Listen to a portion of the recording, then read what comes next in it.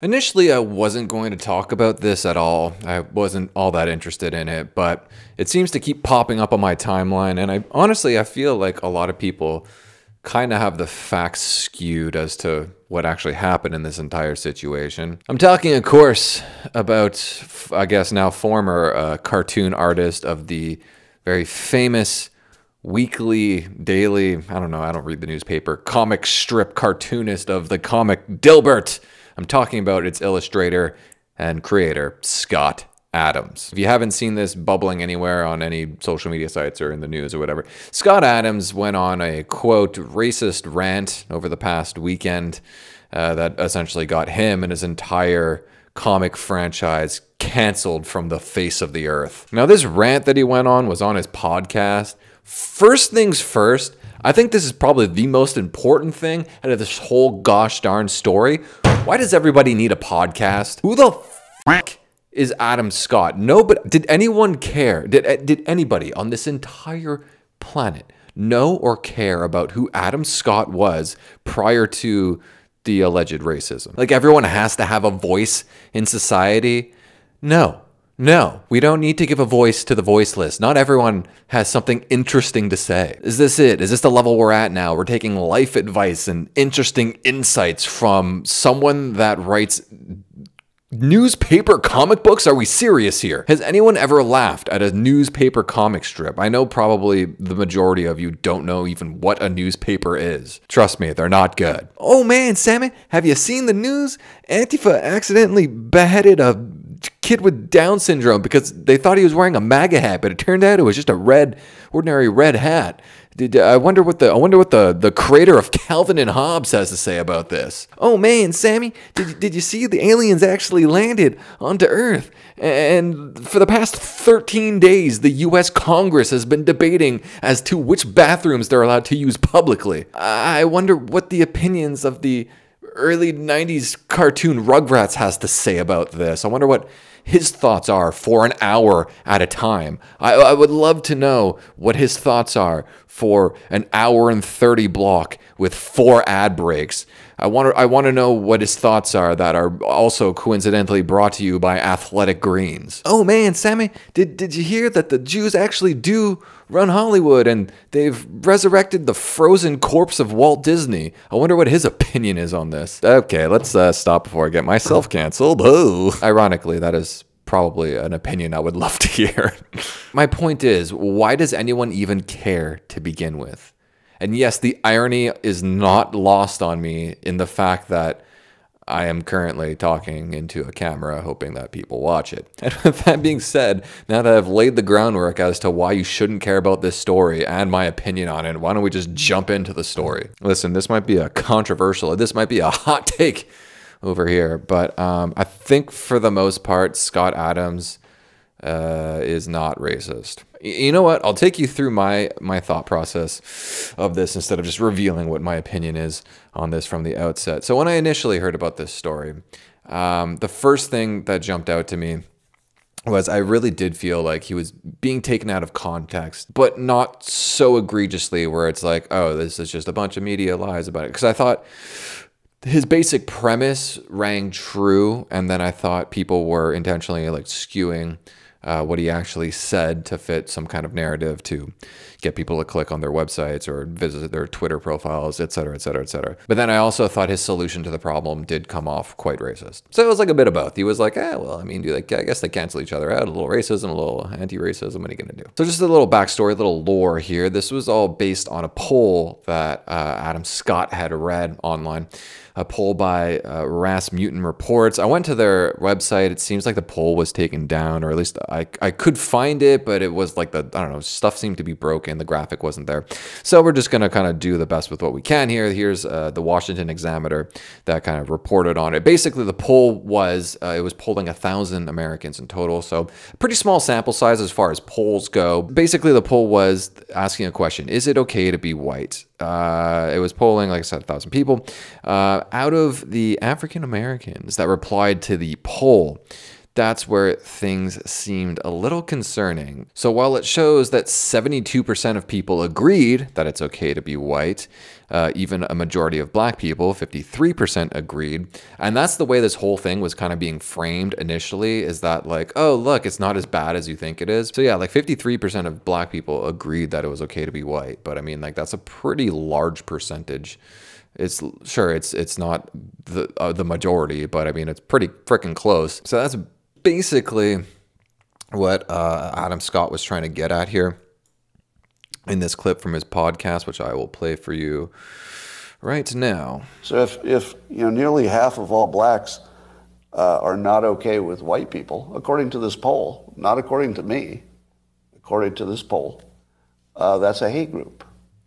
That's a hate group, and I don't want to have anything to do with them. Let's pause it right there. So yes, I could see why on paper, um, if you're not reading that in context, it can seem like a crazy thing to say. I think that I think the the lesson the lesson learned from this whole situation is uh, maybe do a take two. Uh, maybe uh, maybe podcasting isn't the, the greatest format for everyone. We can't all we're never not everyone's as bulletproof as Joe Rogan and his coffee sponsors. And what he's trying to say here is that the percentage of black people that would say that they don't think it's okay to be white, that would be considered a hate group because they are, um, by definition, I mean, it's like they're hating a group of people based solely on their race, the color of their skin. That in itself, by definition, that is a hate group. He's not calling all black people a hate group, but I think that's what like a lot of people, and this is where I said I think a lot of people kind of misunderstood what he was even trying to say to begin with. I, I, and I think I think if you just took that sentence and put it in a vacuum, um, it'd be one thing. So the premise he's laying out is that listen, if you hate white people solely based on the color of their skin, uh, he would put you uh, in a in a hate. He would consider you to be part of a hate group and doesn't want to associate you. That's his premise. I think most people could agree with that. For the most part, people don't want to associate with other people that are racist, especially if they're racist towards your race. And I would say, you know, based on the current way things are going. The best advice I would give to white people is to get the hell away from black people. And that's where he takes a turn for the worse. I could go on and play more. Um, he kind of just keeps on that same train of thought. So, like I said, I think I think when he lays out the issue that hey, it's not a good thing that a you know a fairly large percentage of black people are uh, either distrusting or actually anti-white is a bad thing. I think most logical people would agree with that.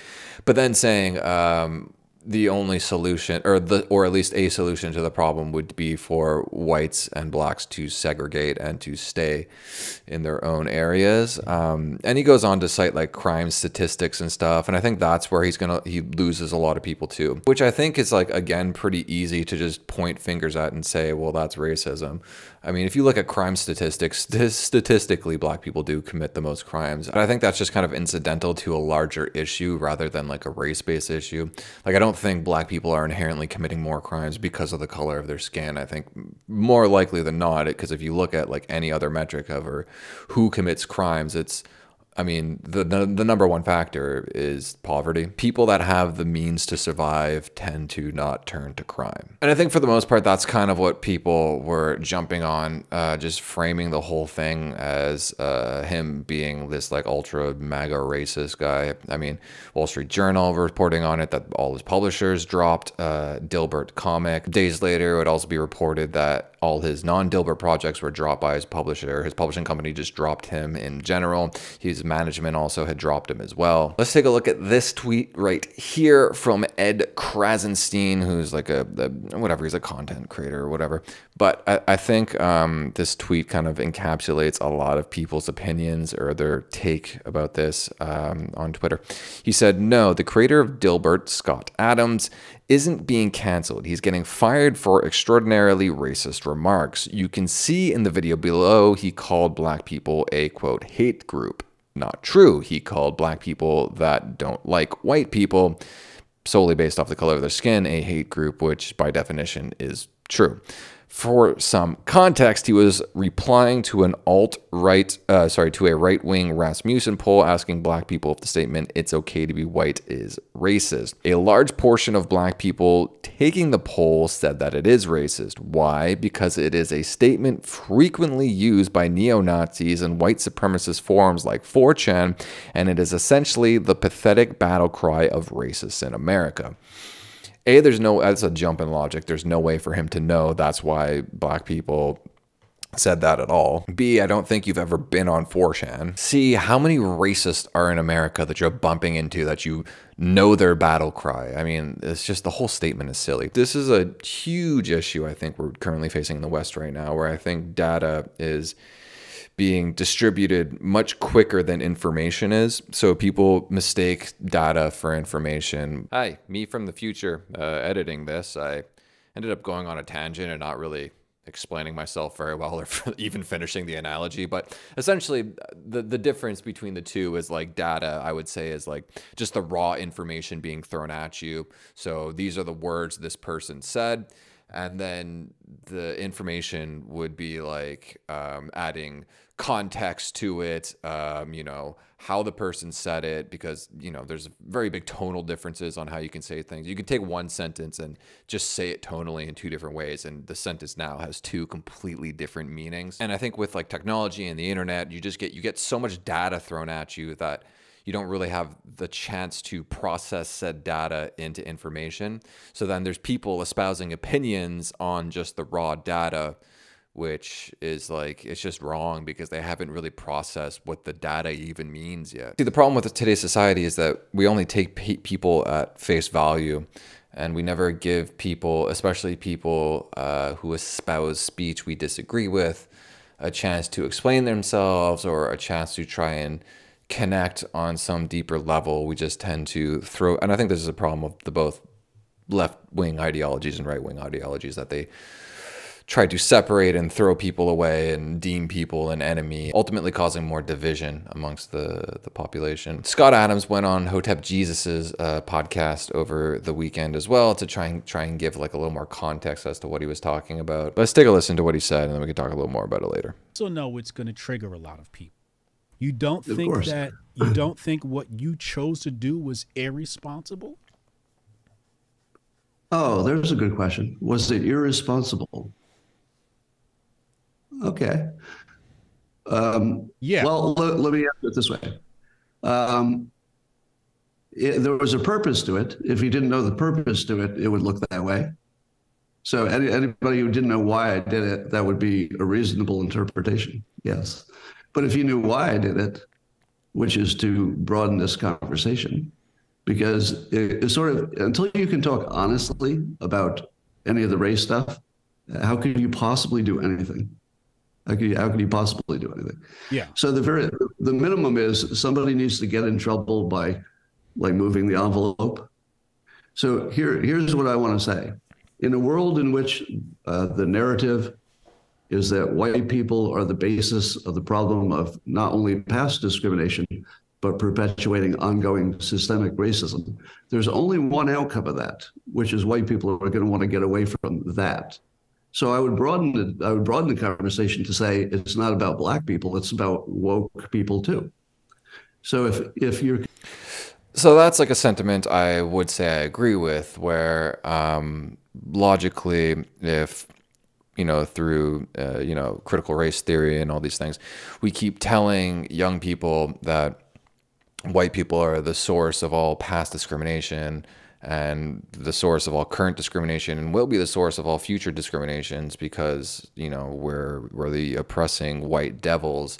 Like that's just not a good thing. And eventually it's going to get to a point where white people are like well i mean if we're the bad guys like well we're just going to go go and be by ourselves. And he makes the broader point as um, you could extend that to not just black people that you would eventually would have to extend that to just woke people in general. And then you're going to kind of divide the country or divide society into like woke and non-woke. And if you play these things through that would be the logical conclusion um, if we allow the division between um, you know the quote woke and the quote unwoke to continue absolutely i would agree with that but and and listen if if if you rewatch like the original clip of him on his podcast, it, you it does kind of recontextualize what he was saying. If you put it now, put it in the frame and the lens of him kind of doing like this uh, sarcastic commentary on what the most extremist solution would be to a very real issue that he did bring up in the first half of that by uh, talking about that poll. I just don't think he explained himself well enough and things got lost in translation. So it unfortunately made him look fairly racist. Listen, I don't I don't know Scott Adams all that well. Um, he doesn't seem just based off you know the small amount of footage I've seen. It, he seems like a fairly down to earth person and not someone that would you know be lying about this to try and like save his career or anything. I think he already is like pretty much at this point like accepting uh, what happened to him. So it like what he's saying here on Hotep Jesus podcast, it doesn't seem disingenuous. It seems fairly honest that that's what he was trying to say. And I'm I like again, I don't know him well enough, so I will have to take him at face value. But what did you guys think? What about this whole situation? Um, do you think he was racist? Do you think he wasn't racist? Do you think that we should stop giving people podcasts? Let me know in the comments below. Okay, bye.